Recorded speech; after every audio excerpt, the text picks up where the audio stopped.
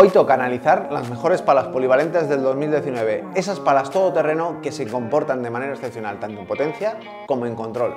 Dentro intro.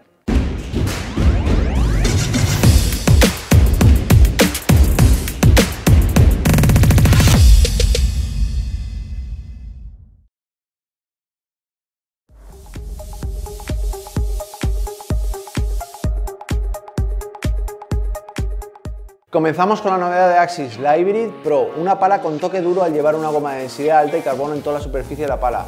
Hace que la sensación de la pala sea dura, pero a la vez también origina que despida muy bien la bola y tenga una salida de bola excelente.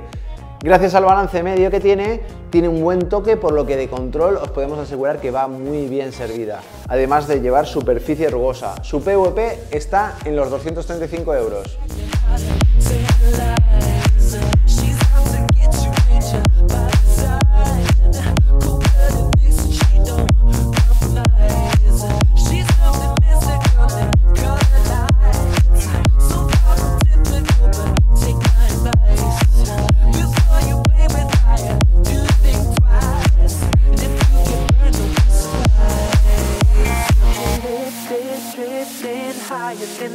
day to day.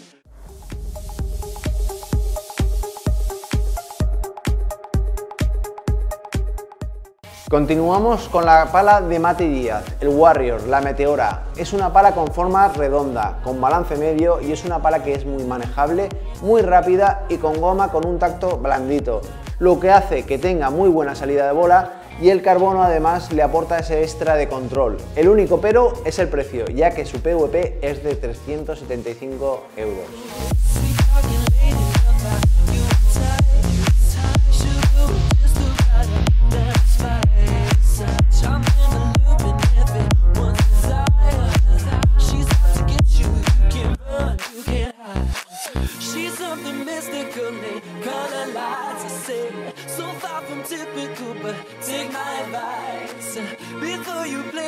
fire. Do think twice. And if you get burned, well, baby, don't you be surprised.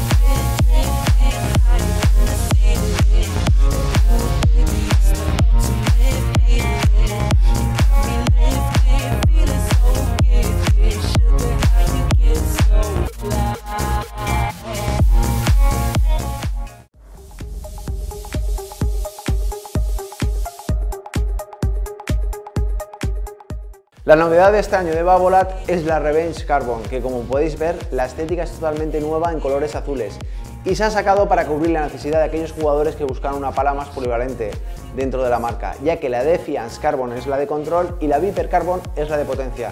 Por lo tanto, esta sería la pala polivalente, muy bien compensada en control y en potencia, con superficie de carbono y el tacto no es muy duro ya que la goma que lleva es de densidad media y contrarresta un poquito la dureza que aporta el carbono.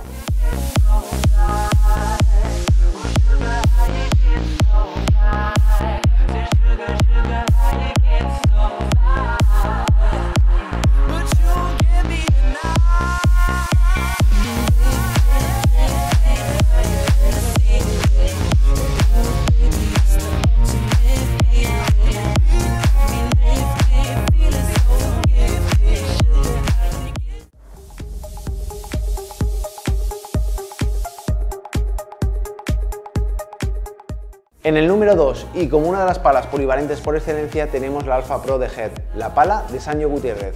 Nuevo molde pero con un juego similar al de años anteriores, una pala polivalente 100%, potencia y control por partes iguales. Continúa con la goma foam y aquí es donde ha estado el cambio de este año. La goma, el toque ha pasado de ser un poquito más duro, con lo cual hemos ganado en potencia. Pero posiblemente con este cambio su punto dulce se haya reducido ligeramente. Pero aún así os podemos asegurar que es una de las mejores opciones del mercado. Su PVP alrededor de los 220 euros.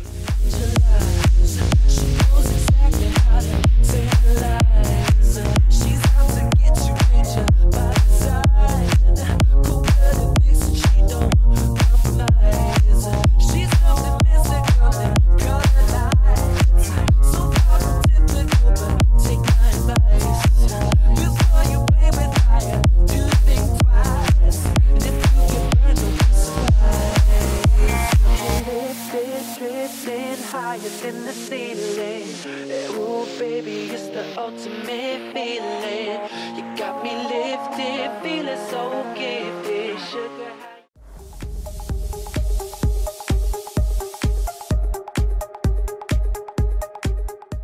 Y como mejor pala polivalente no podía ser otra que la Vertex 2, la pala de Maxi Sánchez. Posiblemente la pala más completa de este año, una pala con muy buena salida de bola, buena potencia, buen control, superficie rugosa, incorpora también el grip core para mejorar el agarre, el custom weight eh, tanto en el marco como en el tapón para personalizar el peso y el balance y es una opción que podrás encontrar en las tiendas con un PVP de 259 euros. La versión de 2019 es muy similar a la del año pasado en cuanto a juego, pero posiblemente la goma sea ligeramente un pelín más dura. Y como mejora tendríamos el protector, que lo han mejorado considerablemente, ya que eh, anteriormente cuando llevabas varios partidos el protector vibraba o tenía un poquito de holgura. En la versión de este año lo han mejorado, fijándolo mejor y añadiendo más remaches.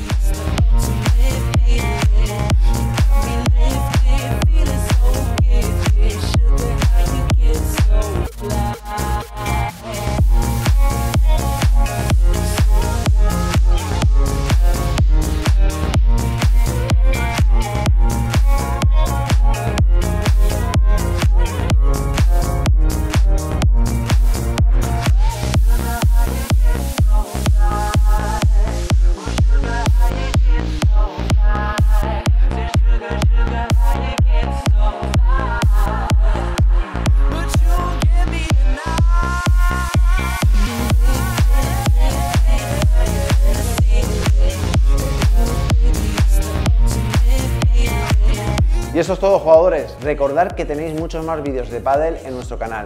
Si os ha gustado este vídeo nos podéis dar un like pulsando aquí abajo. Nos vemos en la pista.